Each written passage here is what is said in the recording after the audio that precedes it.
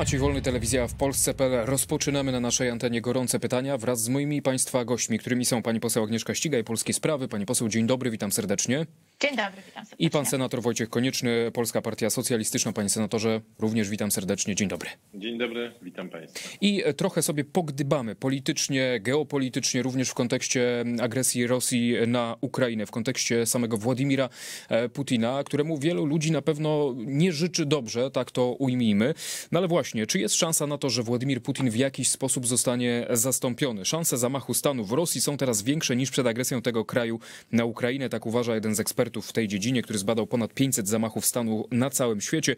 Autor książki Przejęcie władzy uważa, że ryzyko dla Władimira Putina będzie rosło wraz z problemami związanymi z wojną na Ukrainie oraz coraz ostrzejszymi sankcjami Zachodu. No i można powiedzieć, że to nic e, odkrywczego, ale pytanie, czy establishment kremlowski zdecyduje się rzeczywiście na taki ruch? Czy według państwa, czy według pani poseł Władimir Putin to jest postać do ruszenia na Kremlu, czy jednak nie? Posągowo będzie e, tej władzy się trzymał i wszyscy dookoła będą się być może bali, a może nie będą chcieli Władimira Putina ruszyć. Jak sądzi pani poseł?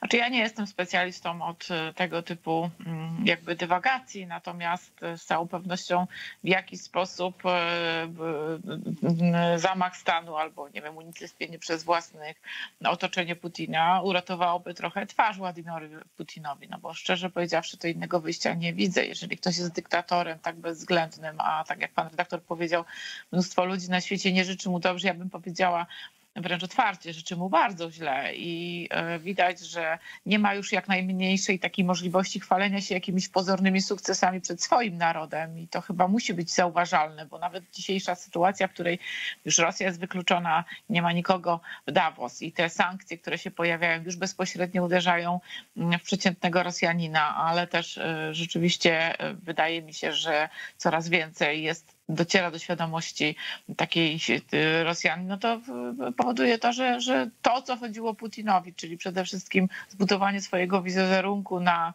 jakiegoś wizerunku, czyli znalezienie jakiegoś rozwiązania, które sprzeda E, swoim obywatelom w zamian e, za to, że tak naprawdę mają biedę i źle im się żyje i też dostrzegają te, to, że Rosja nie jest w taką hegemonią, jak się karmi, no to chyba byłoby to jakieś rozwiązanie dla samego Władimira Putina. Pani Oczywiście, poseł, no, to ja tutaj dopytam, czy, czy ta wojna w takim razie jest porażką Rosji, bo mm, e, w porannej rozmowie Radia RMF FM Jakub Kumoch, szef Biura Polityki Międzynarodowej Kancelarii Prezydenta powiedział, że ta wojna jest polityczną, militarną porażką Rosji. Pokazała, że Rosja nie jest taką potęgą militarną, jaką się przedstawiała, natomiast ranna Rosja siecze, gryzie i morduje, jest państwem groźnym i śmiercionośnym. Czy pani pod tymi słowami by się podpisała? E, oczywiście, w 100% się zgadzam. Rzeczywiście budowany przez lata wizerunek, nawet w naszej świadomości, tej potęgi militarnej Rosji, niestety lub Gruzach, mała Ukraina, która potrafi mm, tyle dni stawiać opór i zaciekle bronić y, się przed tą armią, która rzeczywiście już jest totalnie obnażona, że to nie jest taka armia, której jakiej się baliśmy. Oczywiście cały czas jest broń atomowa i to jest to zagrożenie, natomiast e, ta budowany wizerunek e, na paradach i, i, i to już zaczynając od parad, ale też w całej świadomości, no po prostu lek w gruzach, więc oczywiście, że jest to porażka. E, dobrze by było, gdyby Ukraina całkowicie wyparła ze swojego terytorium wojska rosyjskie, ale myślę, że to wszystko przed nami i przy wsparciu Zachodu jej się to uda i wtedy e, no wyjścia nie będzie chyba miał Władimir Putin, jak, jak e, tak naprawdę, nie wiem, twardo zejść ze swojej sceny politycznej. Zobaczymy, czy rzeczywiście się tak stanie, panie senatorze. Czy pan również uważa, że ta obecna sytuacja, to co dzieje się na Ukrainie, to jest w pewien sposób militarna, polityczna porażka Rosji Władimira Putina, tej propagandy, która była przez wiele lat wpajana do umysłów przede wszystkim Rosjan, ale też w kontekście międzynarodowym mówiło się o tej wielkiej, strasznej, groźnej Rosji i czy ewentualnie za tą porażkę, jeżeli się pan senator z tym zgadza, odpowie swoją głową, w cudzysłowie, a może i dosłownie Władimir Putin. Znaczy tak, panie redaktorze, pan redaktor na początku wspomniał, że wielu specjalistów się wypowiada w ten czy w inny sposób. Natomiast proszę pamiętać, kim jest Władimir Putin. No, on dopiero jest specjalistą od zamachów, od różnych tego rodzaju to czynności. Prawda. Jest przecież y, etatowym oficerem KGB, który na pewno jest przeszkolony z historii, y, jak się to odbywało, na pewno zna te mechanizmy. I jeżeli przed czymś umie się bronić, to na pewno umie się bronić przed właśnie takim zamachem wewnętrznym i, i steruje tutaj wszystkimi y, wokół siebie tak, żeby do tego zamachu jak najtrudniej mogło dojść. Co nie znaczy, że jest to niemożliwe. Niewątpliwie Putin teraz rządzi jak car. Nawet w czasach Związku Radzieckiego było jakieś biuro polityczne, które mogło się zebrać i odwołać przewodniczącego czy sekretarza i tak dalej. Natomiast w tej chwili nawet nie ma takiego formalnego ciała, więc e, taki przewrót oparty o konstytucję, oparty o jakieś tam przepisy, które nagięte czy nie nagięte, ale mogłyby doprowadzić do tego, że e, zostanie Putin odsunięty od władzy, raczej nie będą miały miejsca takie sytuacje. Więc e, no jeśli to rzeczywiście ktoś bardziej przebiegły od Putina w tych czy to dworskich intrygach, czy w ogóle intrygach, może doprowadzić do sytuacji, w której on straci władzę. No, może tak, ale raczej się tego nie spodziewam. Myślę, że tutaj się Putin dobrze zabezpieczył. Natomiast co do Rosji jako takiej, no na pewno cała ta przebieg tej dotychczasowej wojny wskazuje na to, że Rosja zupełnie źle oceniała sytuację w Ukrainie, Ukraińców i płaci za to bardzo wysoką cenę. Prawdopodobnie gdyby Rosja przygotowała się do wojny na poważnie, gdyby mm, to pewnie by do niej nie przystąpiła. To jest jedna rzecz, że, że wtedy raczej e, wiedzieliby, że cena jest tak wysoka, że po prostu no, nie opłaca się. Albo jeżeli by przystąpiła, to znacznie większymi siłami i w sposób e, no, lepszy, bardziej skoordynowany. Jednak e, to, co obserwowaliśmy na początku, no to okazało się zupełnym rzuceniem się mm, na niedźwiedzia, ale no, nie za bardzo będąc samemu uzbrojonym. No, jednak Ukraińcy okazali się takim niedźwiedziem, e, którego można e, pokąsać, można go zranić, no ale bardzo trudno jest go e, pokonać. Z tym, że co będzie dalej, tego nie wiemy. Rosja ma już w swojej historii takie zdarzenia, że początki wojen były bardzo nieudane bardzo dużo błędów było popełnianych, a później e, jednak e, konsolidacja pewna, pewne zwycięstwo pragmatyzmu nad, nad tym wszystkim, co jest w Rosji niedobre, to znaczy nad tym rozkradaniem, zapewnieniem majątku wojskowego, nad korupcją i tak dalej, może doprowadzić do sytuacji, w której jednak Rosja się wzmocni i, i będzie walczyć, no niestety lepiej. W związku z czym ja bym jeszcze tak nie mówił, że Rosja przegrała. W jakimś tam wymiarze na pewno przegrała, na pewno wizerunek Rosji bardzo ucierpiał. Natomiast y, no, jeszcze ta wojna się nie skończyła i nie wiemy, do czego y, Rosja będzie zdolna. No, nie przeprowadzają mobilizacji, nie robią, nie szykują się na wojnę na bardzo dużą skalę, co by oznaczało, że y, pójdą w taki przewlekły konflikt, który będzie niszczył Ukrainę tak gospodarczo bardziej. I Chyba to jest e, w tej chwili cel Rosji i przy okazji oczywiście jakieś zdobycze terenowe i, i militarne, które pozwolą odtrąbić jakiś częściowy sukces.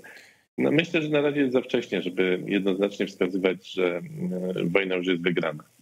Tutaj e, myślę, że zgoda z panem senatorem. Jeszcze wracając do początku naszej rozmowy, do tej kwestii e, Władimira Putina i tego, czy on zostanie odsunięty w taki czy inny sposób od władzy, posłuchajmy wypowiedzi na ten temat Jarosława Wojtasa, eksperta do spraw międzynarodowych, który na naszej antenie właśnie o Władimirze Putinie i o tym ewentualnym zastąpieniu mówił.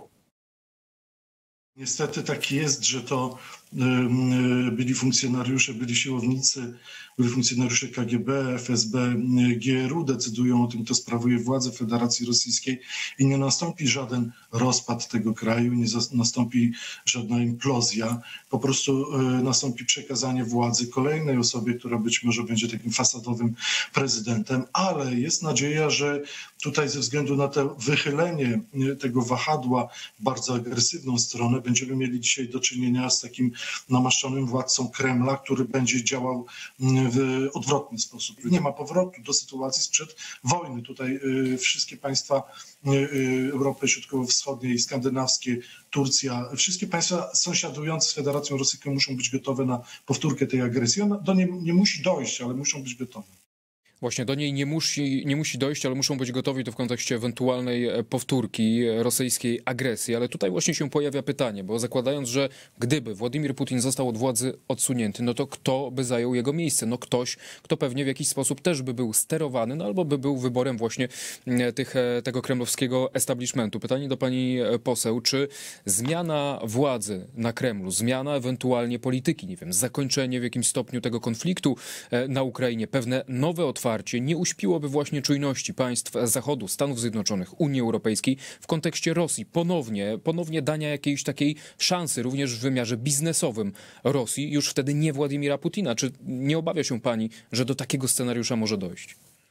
No ja mam ogromną nadzieję, że nie, że to jest poważna lekcja, którą otrzymał Zachód i że w jakiś sposób e, dostrzega swoje błędy w relacjach e, z Rosją, że, samym, że to nie jest tylko problem Władimira Putina i że sama zmiana personalna niczego tak naprawdę nie zmieni. Ja nawet patrząc i śledząc na wypowiedzi opozycjonisty Nawalnego przecież, e, który nie do końca potępia to, co robił Władimir Putin i wojnę na Ukrainie i ma takie dość zachowawcze w, tej, w tym względzie oceny i osądy, więc to świadczy o tym, że nawet najbliższe otoczenie, czy te trochę dalsze, to, to trochę dalsze otoczenie Władimira Putina, to nie jest e, zmiana systemu, zmiana sposobu funkcjonowania myślenia Zmiana myślenia Rosji. właśnie. No nie, raczej nie, myślę, że nie. I teraz e, mam nadzieję, że na trwale bezpiecznik, który w jakiś sposób pozwoli nam myśleć racjonalnie i oceniać tą sytuację, został zamontowany i żadne ocieplanie relacji, żadne w jakiś sposób e, z, e, przytulanie z powrotem Rosji, nawet gospodarczo, chociaż oczywiście będą potężne zakusy, no bo jednak Rosja jest One już są. dostarczycielem.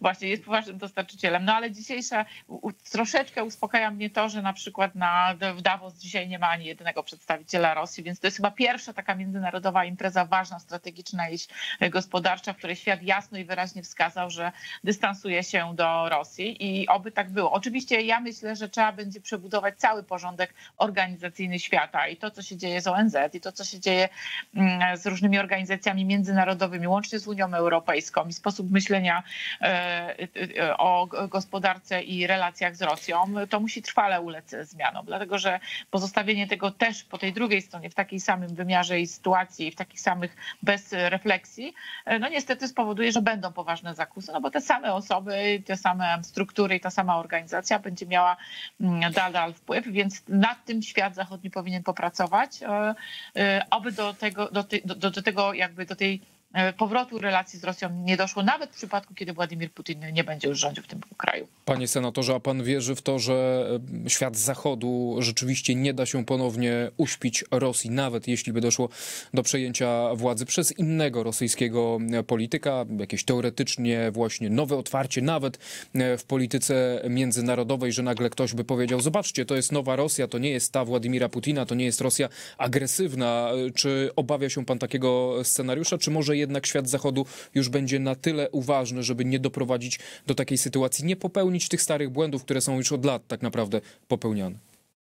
Redaktorze, jakaś nauczka na pewno z tej sytuacji y, będzie wyprowadzona. Natomiast y, no, ja uważam, że jednak y, do tych interesów wrócą. Pamiętajmy, że oprócz rządów mniej lub bardziej zdeklarowanych tak e, proukraińsko i mm, antyrosyjsko są również społeczeństwa, wyborcy, e, którzy wolę, będą wtedy woleli, żeby te mm, koszty tej wojny, tego braku handlu z Rosją, to ich nie obciążały. No, mówmy sobie szczerze, tak jak jest. Nie obijajmy w bawełnę. I to jest jedna strona medalu. Druga jest taka, że proszę pamiętać, że ze Związkiem Radzieckim również prowadzono interesy różne. E, ze Związkiem Radzieckim, który miał system łagrów, który zniewolił kraje Europy Środkowej i tak dalej, i tak dalej. Wszystkie e, te negatywne rzeczy e, robił. Natomiast wystarczyło, że trochę się tam coś ocieplało, nawet w czasach Chruszczowa czy Breżniewa i już się amerykańscy prezydenci spotykali, nawiązywali kontakty i tak dalej, więc tutaj też bym się nie spodziewał, że ten taki antyrosyjski front całkowity, będzie tak utrzymywany przez lata. Na pewno, tak jak na wstępie powiedziałem, będzie jakaś nauczka i będzie nieufność wobec Rosji. ale jeżeli tak myślimy, że jakby Rosja będzie taką ciemną plamą, że już nikt tam nie będzie jeździł, nie będzie robił interesów, nie będzie czegoś kupował od Rosji, no to nie sądzę, żeby tak się stało. Zresztą rosyjska dyplomacja jest bardzo sprawna i niezbyt, niezbyt optymistycznie pan senator kończy tak. tę część naszej rozmowy, ale być może to takie no, rzeczywiste spojrzenie na sytuację, na to, co się dzieje, jak też świat podstępował w przeszłości, a z tej przeszłości wyciągamy wnioski. No, w tym przypadku pan senator uważa, że te dobre wnioski być może nie zostaną do końca wyciągnięte. Za momencik wracamy ponownie na, antenie, na antenę telewizji w Polsce.pl w tym samym składzie oczywiście i kolejne gorące pytanie już za chwilę przed nami.